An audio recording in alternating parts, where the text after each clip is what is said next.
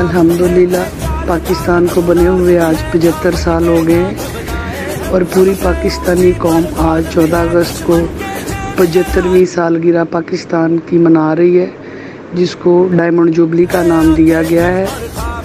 ए, सारी बातें ठीक हैं खुशी भी है सारा कुछ है लेकिन ए, थोड़ा सा हमें अपनी नौजवान नस्ल को आज़ादी के बारे में बताना चाहिए।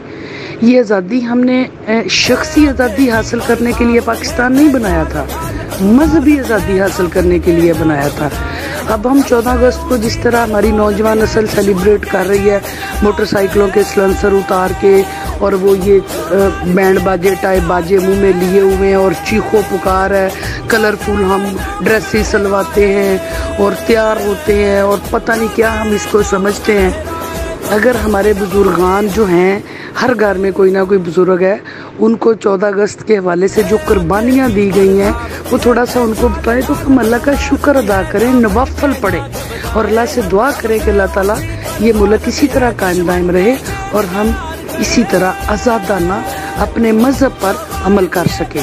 हम अपनी मजहबी रसूमात, अकायद जो हैं, उनको आज़ादी के साथ जो है, वो अदा कर सकें। लेकिन ऐसा नहीं है।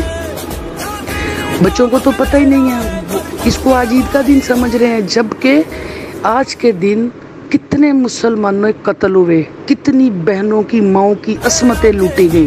किस तरह ये मुल्क का एक टुकड़ा, ये जो ज़मीन का हमने हासिल किया और इसके पीछे मकसद क्या था? इतना कुछ गंवाने का, इतनी जानें गंवाने का, इतनी इज्जतें गंवाने का, इतनी तगोदों का मकसद ये था कि मुसलमान जो हैं, वो अपनी ज़िंदगी कलमे के मुताबिक, अपने मज़हब के मुताबिक, इस्लाम के मुताबिक आज़ादाना गुजार सके, अपनी नमाज़ आज़ादाना पढ़ सके, अपने कायद के मुताबिक अपनी जितनी भी मजहबी रसूमात हैं, उनको आज़ादाना कर सके। उसको कंपेयर करें हम इंडिया के मुसलमानों से इस टाइम जो कि वहाँ पे अकलीत की सूरत में है, वो तो कुर्बानी नहीं खुल के कर सकते।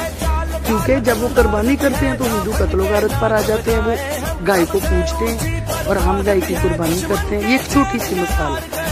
तो हमें शुक्र अदा करना चाहिए, हमें उन तकलीफ़ों को भी याद करना चाहिए, उन कुर्बानियों को भी याद करना चाहिए और उनके लिए दुआएँ मगफरत करनी चाहिए। आज के दिन जो हमारी नस्ल कत्ल हुई, शहीद हुई और उन माओ बहनों को जिनकी इज्जतें लूटी गई तो हमें तो अल्लाह का शुक्र अदा करना चाहिए और दो आँसू सजदे में जाके अल्लाह के हजूर गिराने चाहिए। कि हम उन लोगों की कुर्बानियों की वजह से आज आज़ाद सांस ले रहे हैं। Thank you.